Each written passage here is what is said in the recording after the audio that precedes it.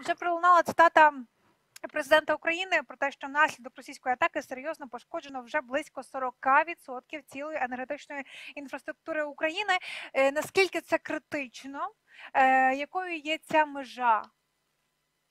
Ну дякую. Ну безумовно, заява президента базується на інформації, яку він отримує від енергетиків, від міністерства, від державної компанії Укренерго. Це головна наша енергокомпанія, яка експлуатує ну, магістральні високовольтні лінії електромереж, і саме там.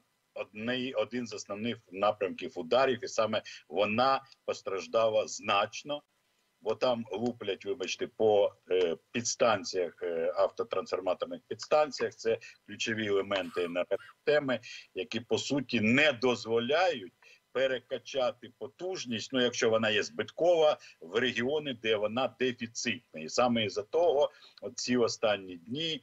Тижні вже і в Києві, і в Київській області, і в наших сусідніх областях обмеження, причому дуже суттєві.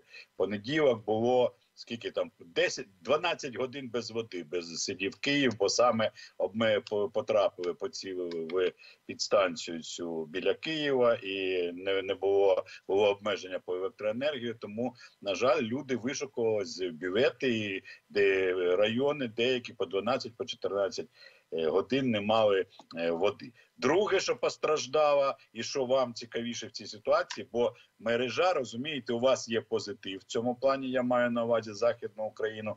Це ви безпосередньо ближче до, до європейської енергосистеми, і у вас в випадку, ну умовно кажучи, проблем мережевих тут в центрі. Ви там з із західом будете працювати спільно, і ви на, на собі це не відчуєте. Хоча обсягів електроенергії на в Європі західній, ну і в східній так само не вистачає, тому ця допомога технічна ну, може бути дуже обмеженою. Вона не може бути безмерною.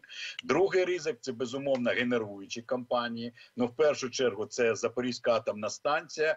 Вона, хоч слава Богу, не зруйнована. Хоча ви знаєте, що там йдуть е, свої там і дії бойові біля неї по підстанціях луплять, але вона не в балансі енергосистеми України, а це 20% е, потужності генерації для західного регіону, для вашої області. В першу чергу критичними є бурштин Добротвір, це теплова генерація, калуш певною мірою. Ну і безумовно, ваша львівська ТЕЦ, бо це і тепло, е, в першу чергу, тепло центральне, на якому знаходиться. е, Львів, ось такі умовно ризики для вас. У нас вони дещо інше в Харкові.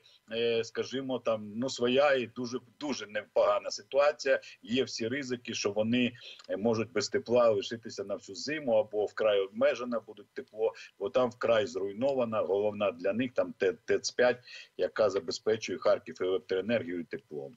А ворог, на жаль, знає, куди бити, зізнаюся відверто, бо його, мабуть, експертують ну такі фахівці, які розуміють, як працює лава і, пра- і працює єдина енергосистема, яка будувалася ще за радянських за радянських часів.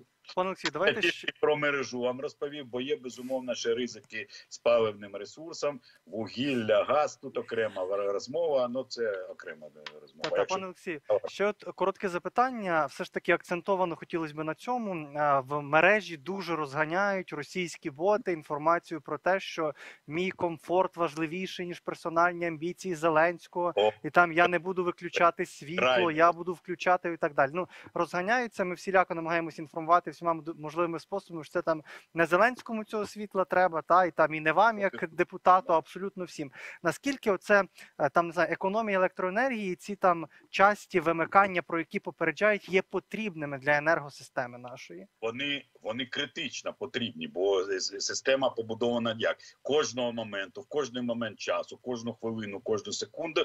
Генерація рівень має приблизно відповідати споживанню. Яко, якщо якийсь дисбаланс, то треба негайно збалансувати. Або автоматично, або в ручному резерві, якщо режимі, якщо не вдасться збалансувати, то наступає критичне розвантаження системи, тобто хаотичне від, відімкнення, е, і воно може дійти до катастрофічного. Те, ну, такі були від, від, відключення в 98-му році. Ви абсолютно слушно поцілили, бо в мене так само розумієте, дуже велика мережа спілкування, і в Фейсбуці в мене там 70 тисяч підписників, і прямі контакти. І я зараз відчуваю, що працює працює, йде інформаційна атака. Е, до- Давлять там е, ну, дезінформують наших українців, і я бачу певне такі панічно, навіть такі і, і такі обурені, обурену реакцію. Як так? Я без світла 4 години, та скільки можливо, скільки це може де, продовжувати? Що ви там всі робите? Що ви депутати? Ну депутати завжди крайні це зрозуміло. Я до цього звик. Але ж наші енергетики, це вони сьогодні на передовій енергетичного фронту. Розумієте? Вони я не кажу, що вони гинуть під обстрілами, але це дійсно вкрай важко відновити швидко. От наслідки такої аварії, як ви показуєте. Ну це ж реально дуже серйозні те- технічні аварії, і це не так просто зробити. І ось це обурення, це от таке незадоволення, воно мені вкрай не подобається. Я просто звертаюся спокійно. Вважаю, що і влада, і президент, і уряд, і депутати всіх всіх кольорів мають звертатися до людей, заспокоювати. Це війна, друзі. Це війна, і тут головне, що треба від влади, це забезпечити справедливе, прозоре розподілення цього ресурсу. Якщо його немає. То мають страждати, вибачте, однаково всі. Не може бути такого, що один мікрорайон на 10 годин відімкнули, а інший на 2. Хоча там є технічні складнощі, є своя логістика енергетична, і не завжди тут справедливість буває. Ну тут треба от дуже таку пропагандистську, хор- в хорошому плані спокійну роботу проводити з людьми, щоб прибрати цей чинник. Бо це розрахунок ворога. Розрахунок, щоб не задоволення владою. І ви знаєте, який далі сценарій. Я думаю, кожна доросла людина розуміє. Раді було почути вашу думку в ефірі народного ток-шоу. Дякуємо за неї, Олексій Кучера.